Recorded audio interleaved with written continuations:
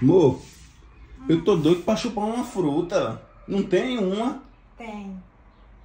Qual? Tem sim. Tem não. Tem uma As frutas já acabou tudinho. Tem uma boa aqui em casa, sim? Tem? Tem. E o, e o bom Ah. é que não precisa ó, gastar com nada, que ela sempre vai estar disponível pra você chupar. É? E que fruta é? É uma manga? É uma. Que fruta é? Mexereca. Não, eu não gosto dessa fruta aí não. Eu nunca vi. não Eu nunca vi falar nessa fruta não.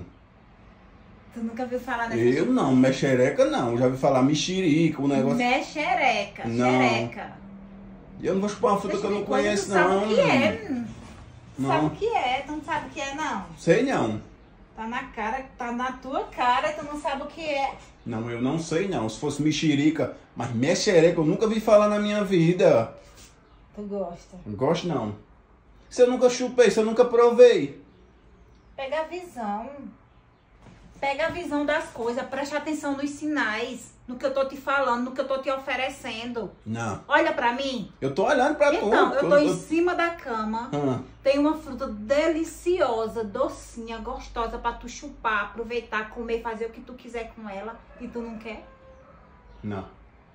Eu não sei dessa fruta não. E eu vou lá no Fruta, mercado, eu vou comprar uma amor, fruta a pra minha mim. Fruta. Você não tem fruta não, que você não é pé de fruta? Não quer não? Não, quer não. Então vou vou lá. pro vizinho. Lá. Pô, Pode dar pra quem você quiser. Se ele gostar, Ele gosta mesmo, Oxi. ele se lambuza até com os dedos. Não quer não? não, quer não. Tá bom, então eu vou dar pro vizinho. Não quer?